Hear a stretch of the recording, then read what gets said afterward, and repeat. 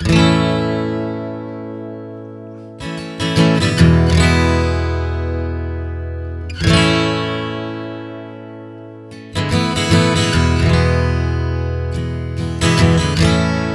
out running with just a little too much to hide. Maybe, baby, everything's gonna turn out fine. Please read the letter. I nailed it to your door. It's crazy how it all turned out. We needed so much more.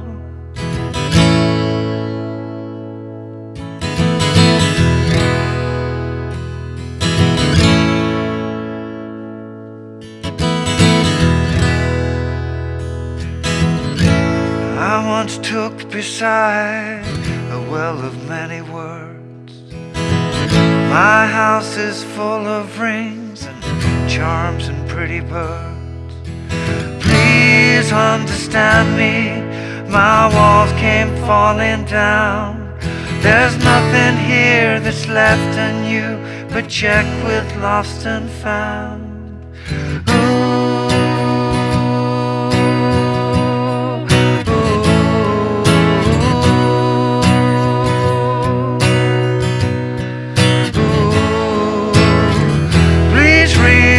letter that I wrote. Please read the letter that I wrote. Please read the letter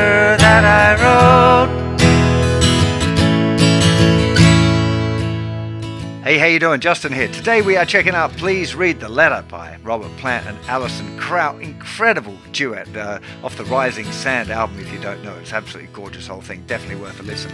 Uh, one that I was only fairly recently discovered. I'm like, where have I been all these years? Anyway, uh, the song is mostly A, D, and E chords. Need a little bit of a B bar chord or a B power chord there for one section.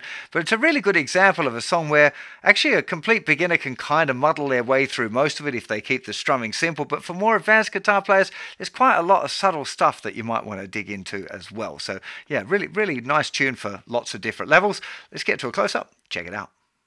On the most basic level, the intro is going A, one, two, three, four, to E, two, three, four, back to A, two, three, four, and to E, two, three, and into the verse, A. Caught out running with a little E chord much to hide, back to A. Maybe, baby, every E's gonna turn out fine. Then it's D, read the A chord. I eat it to your door. It's D, how it A turned out. We eat it so much more.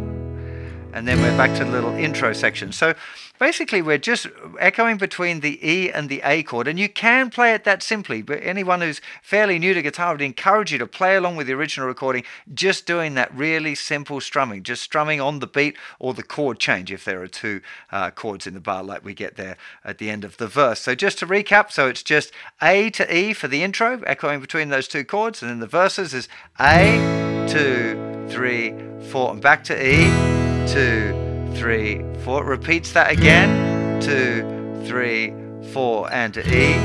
Two, three, four, and then it's D, two, A, four, E, two, three, four. Again, two beats on D, two beats on A, and then four beats on E. Two, three, four, and then back to the verse. Just doing that single strum on the chord change is a real good start. For, well, certainly you're going to want to jazz it up a little bit later, but let's get finish going through the chords before we tuck more into the rhythm stuff. So the next bit, part of it is this little R section. There's no actual lyrics there. I think I might have sung ooh in the little intro thing there. Should have got my oohs and ahs correct, but anyway.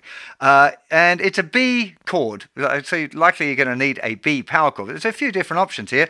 So the most common approach to playing that B chord would be this uh, A-shaped B bar chord, We don't play the thicker string or the thinner string. First finger is just playing one note, and third finger plays uh, fourth fret strings two, three, and four. But most kind of beginners, even advanced beginners, are likely to struggle with that one. So there's a few good cheats. First, easiest one I don't think sounds as good is to use a B power chord. You can either just play the B power chord or include the open strings there. B power chord probably sounds most like the record, but there's another sweeter alternative as well that you might like to try out, which is doing the B chord up at the seventh fret. Now you could play the full bar chord one if you wanted to and just move it down to the A and back to the to the B, or you could lift the bar, get those open strings. So ah.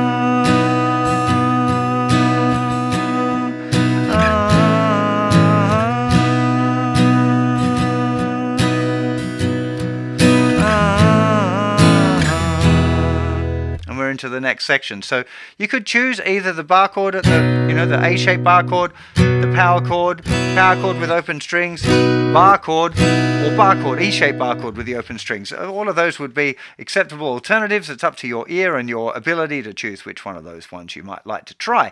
Now in the main chorus part, we're back to just E and A. We've just got half a bar of E, half a bar of A. So please read the letter that I wrote. Read the letter that I wrote. So that little E A E A two bar sequence will happen either two times or three times, depending on where you are in the song. Worth noting, of course, that there's a couple of different versions. The album version, which is about five minutes long, and a single version, which is a bit over three minutes.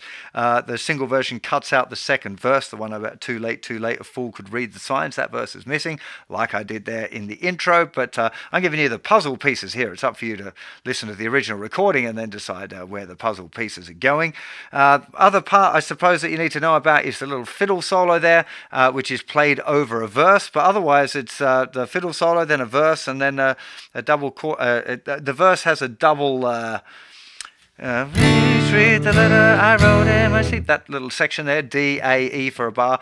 That part is doubled, I think, before going to another chorus. But you, when you're learning this sort of stuff, you've got to use your ears there to help you out with the form as well. I'm hoping that uh, you're doing that already. But let's talk a little bit more about some fancy strumming here. So, a really interesting part of this sort of tune is this keeping the hand moving even though you'd only be strumming on the one. So even though I'm playing like one, two, three, four, one, two, three, four, I'm feeling the beat here. Actually already a 16th note strumming. Two four and one and two and three and four and one. So eight down strums to the bar. Here, one and two and three and one, and. And quite noting that quite often I'm not going to be doing like a big motion like that. I'm just kind of, that's how I'm feeling it. My hand is going to be making those movements. That's really important if you're going to start adding some new things in because so long as your hand is moving consistently and in time, you could kind of put strums where you liked, really. I don't wouldn't recommend like completely random things, but particularly with this song, you probably want to be doing like a little thing before the chord change. Like this, he's doing one, two, three,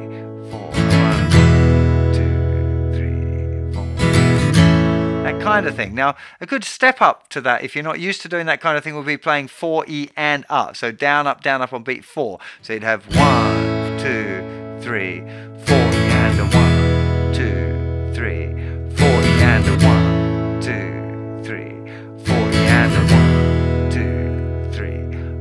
and a one. Or you could miss out the down strum on four and just have E and up. So up, down, up. So one, two, three, four. E one, two, three, four. Up, down, up, down. Two, three, four. Up, down, up, down. Two, three, four. Up, down, up, down. Now on the original recording, I'm going to show you this little thing that I've, I've kind of worked out. There's an electric guitar part that does this really nice line that kind of, when it's on top of the acoustic, has this nice effect.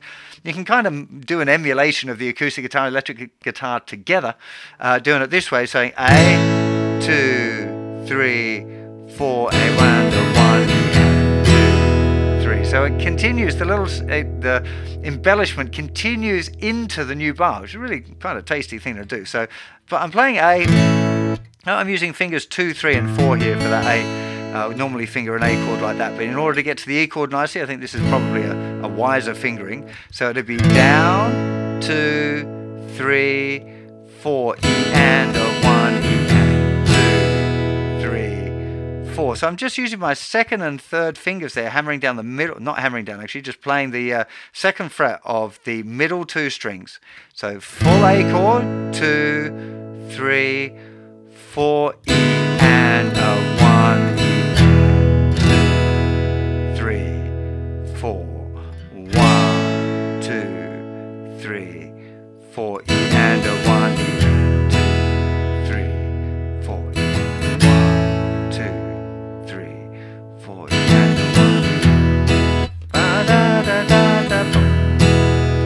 have to do it, right? This is just a little optional thing there. That uh, chord pattern comes up quite often. At least if you get used to the idea of that, you can play the same rhythm but without the little chords, which I think is what the rhythm guitar is doing. So he's just going A, two, three, four, and one, and three, four, A, two, three, four.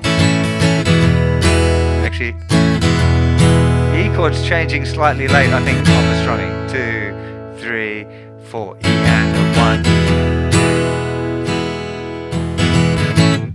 Keep the hand moving. You keep the strumming hand moving, and move that chord a little bit late. It's, it's working out great. You, it's one of those things where you can count it and you can know what it is, and that can be really helpful. But I think just sometimes just listening is a really good plan, a good way of a better way really of learning this sort of stuff. So once you've got used to this idea of the hand moving consistently, that's when you can start to embellishing, putting embellishments wherever you like. So you know, have the um, caught out of running with a little too much to hide. Maybe, baby, everything's gonna turn out fine. Please read the letter I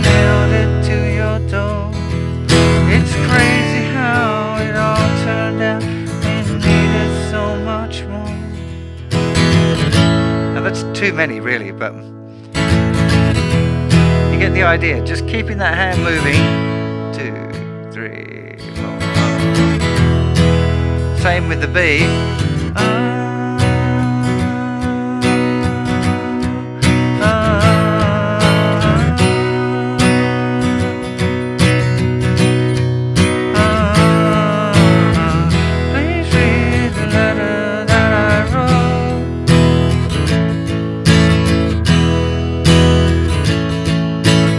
try and work out what I'm doing. Just down, down, up, down, up, down, down, down, down, up, down, up, down, down. But I'm not even sure that's exactly what's on the record. It's just, again, it's the keeping the hand moving is the secret for doing all of this sort of stuff. Is getting that. Uh, it makes all the difference. It means that you can, if you can get the song into your musical imagination, so you can hear it in your head, you can get your hand moving, you'll probably find that you can make your way through the tune pretty well and kind of improvise within the correct context. Obviously, if you don't know the song, you need to listen to the song enough to get the feeling of the song in your, into your mind. But uh, once it's there, you if you keep the hand moving and just kind of imagine, let yourself imagine what it should sound like, and hope that you can get your guitar sounding somewhat closer or close or exactly it to what you'd imagined. I really hope you enjoyed this lesson. I definitely need to do some more off this album, but uh, this one just struck me. I could tell it was mostly E, A, and D, and uh, yeah, I was actually hoping it was going to be all E, A, and D, but I've forgotten there that little B chord there in the pre-chorus. But uh, yeah, there's some cheats around it, so great for like grade three level players. Uh, see you for plenty more lessons very soon. You take care. Bye bye.